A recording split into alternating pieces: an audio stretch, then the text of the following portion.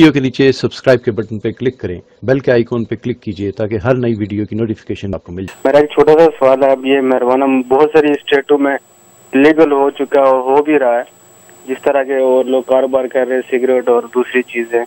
تو یہ بھی ایک کاروبار کی صورت اختیار کر رہا ہے۔ تو آیا جو لوگ کاروبار کرتے ہیں خاص کر مسلمان لوگ تو وہ اس کا کاروبار کر سکتے ہیں یا نہیں؟ یہ میرا کوشچن تھا۔ بہت شکریہ جی۔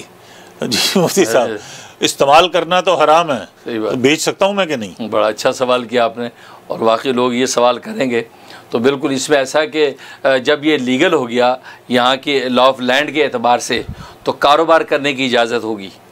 کاروبار کرنے کی اجازت ہوگی لیکن یہ کاروبار مکرو ہوگا. شرن مکرو ہوگا لیکن اس کا جو پروفٹ آئے گا وہ پروفٹ حلال ہوگا. یہ ایسی ہے کہ بہت سی دوائیں جو نشہ ور دوائیں ہیں، وہ تو بیچی جاتی ہیں، تو وہ بکتی ہیں، اس کا جو پروفٹ وہ حلال ہو جاتا ہے۔ تو بالکل اسی طریقے سے کہ جو اگر آپ یہاں اگر اس کو بیچتے ہیں، تو اس صورت میں کاروبار اس کا مکرو ہے۔ اور جیسے تمباکو ہے، تمباکو کے بارے میں یہ فتویٰ علماء کا کہ تمباکو کا کاروبار جو وہ مکرو ہے، لیکن پروفٹ حلال اور طیب ہے۔ تو بالکل اسی طریقے سے جب یہاں لیگلائز یہ ہو گیا، اور اس کو اول تو ایسے کاروباروں میں ہاتھ ڈالنا نہیں چاہیے، پہلی بات۔ لیکن میں تو اس اس میں ازیوم کر کے جواب دے رہا ہوں کہ لوگ بھائی مجبور ہیں کہ کوئی اپرچونیٹی نہیں ہے لہٰذا یہ کر لیتے ہیں۔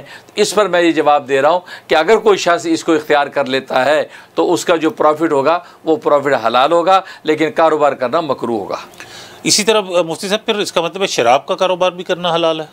یعنی اسٹور کھولا جا سکتا ہے لیکر اسٹور بڑا اچھا سوال کیا آپ نے یہ بھی۔ لیکن شراب نس قطعی سے چونکہ حرام قرار دے دیا گیا اور اس کے اندر جو ہے وہ ہر طرح کی حرمت ہے اور اس پہ ایک قطرہ کی کوئی گنجائش نہیں ہے۔ اور مروانہ جو ہے آپ کو پتہ ہے کہ وہ ایک مریض کو بھی مریض کو بھی استعمال کرایا جا سکتا ہے۔ اس میں ایک کوئی نہ کوئی ایک پہلو نکل آتا ہے کہ مریضوں کو استعمال کرائے تاکہ ان کے پین میں ریلیکس ہو جائے۔ اور لیکن چونکہ لوگوں وہ اسٹیرائڈ کی طرح انسان عادی بن جاتا ہے اس وجہ سے لیکن شراب چونکہ نس قطعی سے اس کے کاروبار کو اس کے ہر طرح کے جو ہے پہلوؤں کو حرام قرار دے دیا، تو اس کی اجازت نہیں ہوگی۔ بہت شکریہ مفتی صاحب۔